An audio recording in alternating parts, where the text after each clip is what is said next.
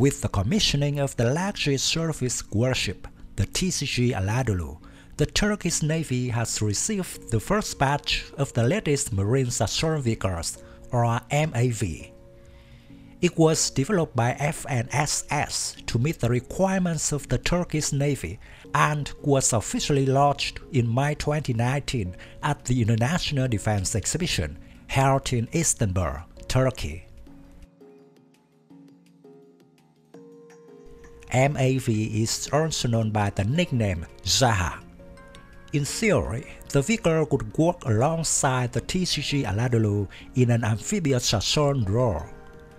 During the amphibious assault phase of an operation, these vehicles are launched from landing helicopter dock and rapidly cover the distance between the vessel and shore, allowing forces to land under protection and with minimum delay.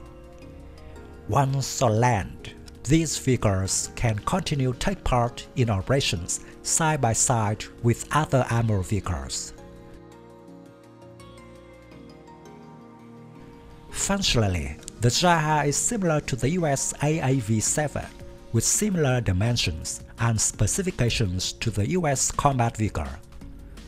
The Turkish Navy has ordered 23 amphibious APCs. Interestingly, Turkey never operated such class of vehicles before. The vehicle is being offered to export customers. PT Pindad signed an agreement on the production of Zaha in Indonesia.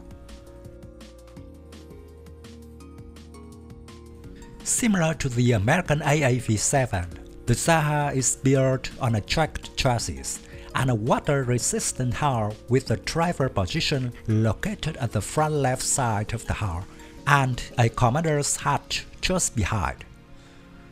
The vehicle has a crew of 3 and can carry up to 21 infantrymen.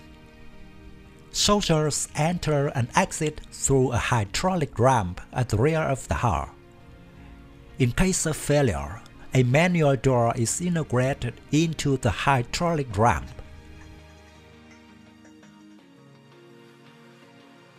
Zaha provides protection against small arms fire and shrapnel.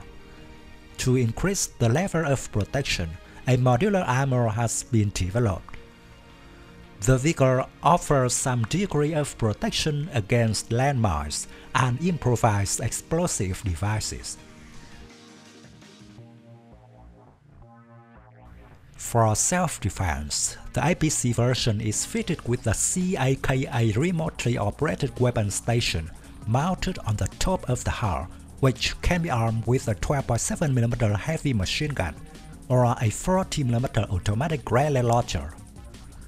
The turret features a thermal sighting system to conduct firing operations day and night. Two banks of four smoke grenade dischargers are mounted on the roof of the hull at the back of the turret. At the heart of the Zaha is a 500 horsepower diesel engine placed at the front, coupled with an automatic transmission. The vehicle can reach a maximum road speed of up to 70 km per hour, a range of 500 km. The torsion bar suspension on each side consists of 6 road wheels, 3 track return rollers, one idler at the rear, and the driver's sprocket at the rear. As an amphibious vehicle, Zaha moves on the water with two water jets located in the back with a maximum speed of 13 km per hour.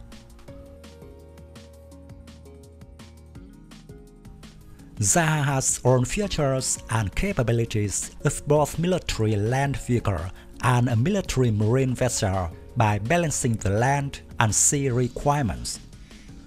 Zaha is a breakthrough of the Turkish military industry, and along with the TCG Anadolu, Zaha will be the new steel punch of this country's navy.